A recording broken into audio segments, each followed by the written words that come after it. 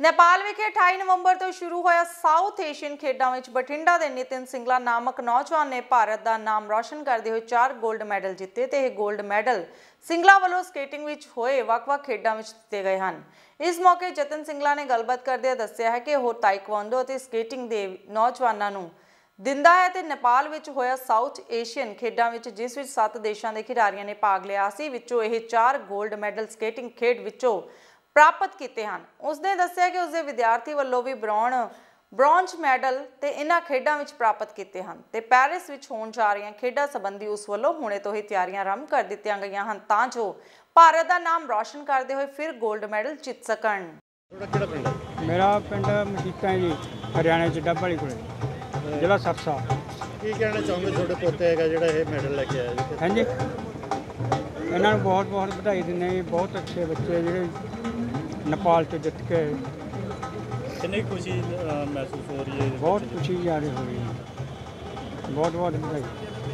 ਕੀ ਨਾਮ ਹੈਗਾ ਤੇਰਾ? ਨਿਤਿਨ ਅਹ ਕਿੱਥੋਂ ਜਿੱਤ ਕੇ ਆਏ ਹੋ? ਕਿਹੜੀ ਕਿਹੜੀ ਗੇਮ ਸੀ? ਮੈਂ ਮੇਰਾ ਨਾਮ ਨਿਤਿਨ ਸਿੰਗਲਾ ਹੈ ਤੇ ਮੈਂ ਕੋਚ ਹਾਂ ਸਕੇਟਿੰਗ ਐਟ ਤਾਈਕਵਾਂਡੋ ਦਾ ਅਸੀਂ ਏਸ਼ੀਅਨ ਗੇਮਸ ਖੇਡਣ ਗਏ ਸੀ 8th South Asian games Nepal Pokhara ਜਿਹੜੀ 28 ਨਵੰਬਰ ਤੋਂ ਸਟਾਰਟ ਹੋਈਆਂ ਸੀ ਤੇ 2 ਦਸੰਬਰ ਤੱਕ ਚੱਲੀਆਂ ਸੀ। ਜਿੰਦੇ ਵਿੱਚ ਮੇਰੇ ਮੈਨੇ ਸਕੇਟਿੰਗ ਦੇ ਚਾਰ ਇਵੈਂਟ 'ਚ ਪਾਰਟਿਸਿਪੇਟ ਕੀਤਾ ਸੀ। ਇੱਕ 200 ਮੀਟਰ, ਇੱਕ 400 ਮੀਟਰ, ਇੱਕ 800 ਮੀਟਰ, ਇੱਕ 1600 ਮੀਟਰ। ਚਾਰਾਂ 'ਚੋਂ ਮੇਰਾ 골ਡ ਹੈ ਤੇ ਇੱਕ ਤਾਈਕਵਾਂਡੋ 'ਚ ਪਾਰਟਿਸਿਪੇਟ ਕਰਕੇ ਮੈਂ 골ਡ ਲਿੱਤਾ। ਇੱਕ ਮੇਰਾ ਸਟੂਡੈਂਟ ਗਿਆ ਸੀ ਇਹਨੇ ਅੰਡਰ 12 'ਚ ਸਕੇਟਿੰਗ 'ਚ ਪਾਰਟਿਸਿਪੇਟ ਕਰਕੇ 400 ਮੀਟਰ ਰੇਸ 'ਚੋਂ ਬ੍ਰੌਂਜ਼ ਮੈਡਲ ਹਾਸਿਲ ਕੀਤਾ। ਹੁਣ ਸਾਡੀ ਨੈਕਸਟ ਜਨਵਰੀ 'ਚ ਸਿਲੈਕਸ਼ਨ ਹੋਈ ਹੈ ਭੂਟਾਨ ਥਿੰਪੂ 'ਚ ਹੋਣਗੀਆਂ ਇੰਟਰਨੈਸ਼ਨਲ ਗੇਮਸ ਤੇ ਹੁਣ ਉਹਦੇ ਲਈ ਤਿਆਰੀ ਕਰਾਂਗੇ ਤੇ ਉੱਥੋਂ ਵੀ 골ਡ ਮੈਡਲ ਜਿੱਤ ਕੇ ਲਿਆਵਾਂਗੇ ਤੇ ਆਪਦੇ ਦੇਸ਼ ਦਾ ਨਾਮ ਰੋਸ਼ਨ ਕਰਾਂਗੇ। ਕਿੰਨੀਆਂ ਟੀਮਾਂ ਗਈਆਂ ਸੀ ਤੇ ਕਿਹੜੀ ਟੀਮ ਸੱਤ ਕੰਟਰੀਆਂ ਆਈਆਂ ਸੀ ਟੋਟਲ ਜਿੰਦੇ ਵਿੱਚ ਭਾਰਤ ਨੇਪਾਲ ਭੂਟਾਨ ਅਫਗਾਨਿਸਤਾਨ ਪਾਕਿਸਤਾਨ ਸ਼੍ਰੀਲੰਕਾ ਤੇ ਮੇਰੇ ਸੱਤੋਂ ਕੰਟਰੀਜ਼ ਦੇ ਜਮਕੀ ਇੱਕ ਸਾਡੀ ਹੋ ਗਈ ਤੇ 6 ਕੰਟਰੀਜ਼ ਦੇ ਨਾਲ ਮੈਚ ਹੋਏ ਸੀ ਤੇ 6 ਦੀ 6 ਨੂੰ ਹਰਾ ਕੇ ਮੈਂ 골ਡ ਮੈਡਲ ਜਿੱਤੇ ਆ। ਅਗਲਾ ਤੁਹਾਡਾ ਐਮ ਕੀ ਹੋਏਗਾ? ਮੇਰਾ ਏਮਸ ਮੇਨ ਹੈ 올림픽 ਲਈ ਤਿਆਰੀ ਕਰ ਰਿਹਾ ਮੈਂ। 2024 ਪੈਰਿਸ ਚ 올림픽ਸ ਨੇ ਉਹਦੇ ਲਈ ਤਿਆਰੀਆਂ ਚੱਲ ਰਹੀਆਂ ਨੇ ਮੇਰੀ। ਤੇ ਮੈਨੂੰ ਆਪਦੇ ਭਰੋਸਾ ਹੈ ਵੀ ਮੈਂ ਉਹ ਵੀ ਲੈਵਲ ਅਚੀਵ ਕਰ ਲੂੰਗਾ ਸਰਕਾਰ ਵੱਲੋਂ ਕੋਈ ਮਿਲਦਾ ਨਹੀਂ ਗਵਰਨਮੈਂਟ ਵੱਲੋਂ ਅਜੇ ਤੱਕ ਕੋਈ ਸਪੋਰਟ ਨਹੀਂ ਹੈ। ਬਾਕੀ ਜਿਹੜੇ ਇਕਬਾਲ ਜੀ ਹੈ, ਇਹ ਬਹੁਤ ਸਪੋਰਟ ਕਰ ਰਹੇ ਆ ਵਿਦਆਊਟ ਗਵਰਨਮੈਂਟ ਮੈਨੂੰ।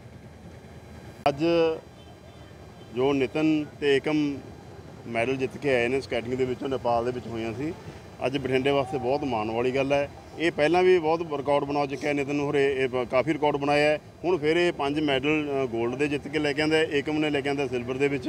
ਇਹ ਬਠਿੰਡੇ ਦੇ ਵਾਸਤੇ ਬਹੁਤ ਵਧਾਈ ਵਾਲੀ ਗੱਲ ਹੈ। ਇੱਕ ਆਮ ਘਰ ਚੋਂ, ਗਰੀਬ ਘਰ ਚੋਂ ਬੱਚਾ ਉੱਠ ਕੇ ਇੰਨੀ ਮਿਹਨਤ ਕਰ ਰਿਹਾ ਹੈਗਾ। ਮਿਹਨਤ ਕਰਨ ਦੇ ਬਾਵਜੂਦ ਵੀ ਪ੍ਰਸ਼ਾਸਨ ਵੱਲੋਂ ਕੋਈ ਇਹਨੂੰ ਸਹਿਯੋਗ ਨਹੀਂ ਦਿੱਤਾ ਜਾ ਰਿਹਾ। ਮੈਂ ਤੁਹਾਡੇ ਜ਼ਰੀਏ ਡੀਸੀ ਸਾਹਿਬ ਨੂੰ ਬੇਨਤੀ ਕਰਦਾ ਹਾਂ ਵੀ ਰੈੱਡ ਕਰਾਸ ਦੇ ਥਰੂ ਕੋਈ ਨਾ ਕੋਈ ਬੱਚਿਆਂ ਨੂੰ ਜ਼ਰੂਰ ਸਹਿਯੋਗ ਦਿਓ ਤਾਂ ਜੋ ਆਉਣ ਵਾਲੇ ਜਿਹੜੇ ਗਾਹਾਂ ਨਵੀਂ ਜਨਰੇਸ਼ਨ ਹੈ, ਉਹਨਾਂ ਨੂੰ ਕੋਈ ਸੇਧ ਮਿਲ ਸਕੇ ਇਸ ਤਰ੍ਹਾਂ ਦੇ ਬੱਚਿਆਂ ਤੋਂ ਤੇ ਬੱਚੇ ਆਪਣਾ ਭਵਿੱਖ ਸਵਾਰ ਸਕਣ। ਇਹਨੂੰ ਮੈਂ ਦੁਬਾਰਾ ਫਿਰ ਬੱਚਿਆਂ ਨੂੰ ਦੋਨਾਂ ਨੂੰ ਵਧਾਈ ਦਿੰਦਾ, ਇਹਨਾਂ ਦੇ ਮਾਪਿਆਂ ਨੂੰ ਵਧਾਈ ਦਿੰਦਾ, ਜਿਨ੍ਹਾਂ ਨੇ ਇਕੱਲਿਆਂ ਨੂੰ, ਇਹਨਾਂ ਨੂੰ ਇੰਨੀ ਦੂਰ ਨੇਪਾਲ ਦੇ ਵਿੱਚ ਭੇਜਿਆ, ਭੇਜ ਕੇ ਉੱਥੋਂ ਔਰ ਬਠਿੰਡੇ ਦਾ ਇਹਨਾਂ ਨੇ ਨਾਮ ਰੋਸ਼ਨ ਕੀਤਾ। ਇੱਕ ਪਾਸੇ ਸਰਕਾਰ ਕਹਿ ਰਹੀ ਹੈ ਕਿ ਵੀ ਨਸ਼ਿਆਂ 'ਚ ਨੌਜਵਾਨੀ ਜਾ ਰਹੀ ਹੈ, ਇਹਨਾਂ ਨੂੰ ਖੇਡਾਂ ਵੱਲ ਪ੍ਰੇਰਿਤ ਕੀਤਾ ਜਾਵੇ। ਪਰ ਸਹਿਯੋਗ ਕੁਝ ਨਹੀਂ ਦੇ ਕਹਿਣ ਇਕੱਲਾ ਕਹਿਣ ਨਾਲ ਨਹੀਂ ਹੁੰਦਾ ਕੋਈ ਸਹਿਯੋਗ ਵੀ ਦੇਣਾ ਚਾਹੀਦਾ ਹੈਗਾ ਪ੍ਰਸ਼ਾਸਨ ਨੂੰ ਵੀ ਚਾਹੀਦਾ ਸਰਕਾਰਾਂ ਨੂੰ ਵੀ ਚਾਹੀਦਾ ਇਹਨਾਂ ਵਾਸਤੇ ਬੱਚਿਆਂ ਵਾਸਤੇ। ਜਿਹੜੇ ਬੱਚੇ ਰਿਕਾਰਡ ਬਣਾਉਂਦੇ ਆ ਉਹਨਾਂ ਵਾਸਤੇ ਵੱਖਰਾ ਫੰਡ ਕਾਇਮ ਕੀਤਾ ਜਾਵੇ। ਜਿੰਨਾ ਚਿਰ ਇਹਨਾਂ ਨੂੰ ਕੋਈ ਰੋਜ਼ਗਾਰ ਨਹੀਂ ਮਿਲਦਾ ਉਹਨਾਂ ਚਿਰ ਸਹੂਲਤ ਦਿੱਤੀ ਜਾਵੇ ਆਰਥਿਕ ਤੌਰ ਦੇ ਉੱਤੇ ਮਦਦ ਕੀਤੀ ਜਾਵੇ। ਕਹਿਣ ਤੇ ਕਰਨੇ 'ਚ ਬਹੁਤ ਫ਼ਰਕ ਹੈ। ਮੈਂ ਅਸੀਂ ਅ, ਪਿਛਲੇ ਸਰਕਾਰਾਂ 'ਚ ਦੇਖਿਆ ਅਕਾਲੀ ਦਲ ਵੱਲੋਂ ਬੱਚਿਆਂ ਨੂੰ ਪ੍ਰੋਤਸਾਹਿਤ ਕੀਤਾ ਗਿਆ ਜਾਂਦਾ ਸੀਗਾ ਔਰ ਕਬੱਡੀਆਂ ਜਿਸ ਤਰ੍ਹਾਂ ਅਕਾਲੀ ਦਲ ਨੇ ਕਬੱਡੀ ਦੀ ਗੇਮ ਨੂੰ ਕਿੰਨਾ ਪ੍ਰਮੋਟ ਕੀਤਾ ਸੀਗਾ।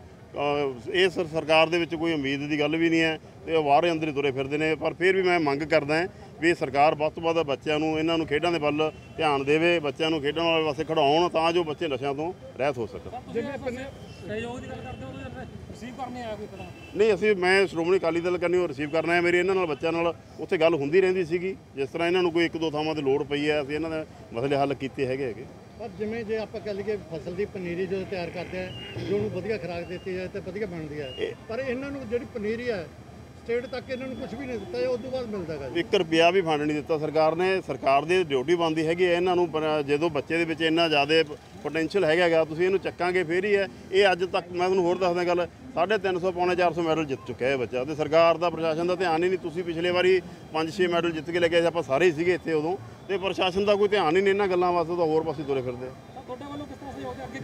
ਅਸੀਂ ਪੂਰਾ ਪਹਿਲਾਂ ਵੀ ਸਹਿਯੋਗ ਕੀਤਾ ਗਾਹਾਂ ਵੀ ਕਰਦੇ ਰਹਾਂਗੇ। ਸਾਡੇ ਕੋਲੋਂ ਜੇ ਕੋਈ ਹੋਰ ਬੱਚਾ ਕੋਈ ਇਦਾਂ ਦਾ ਹੈਗਾ ਹੈਗਾ ਅਸੀਂ ਸਹਿਯੋਗ ਕਰਾਂਗੇ। ਆਪਦੇ ਆਪਦੇ ਪਾਰਟੀ ਵੱਲੋਂ ਜੋ ਵੀ ਹੈਗਾ ਸਾਡਾ ਆਪਦਾ ਸਿਸਟਮ ਬਣਿਆ ਹੋਇਆ ਇਹਨਾਂ ਨੂੰ ਤੁਹਾਨੂੰ ਮਨੋਂ ਤੁਹਾਨੂੰ ਅਸੀਂ ਜਿਵੇਂ ਵੀ ਮਤਲਬ ਸਹਿਯੋਗ ਕਰਦੇ ਹਾਂ ਕਰ ਸਕੇ ਕਰਾਂਗੇ।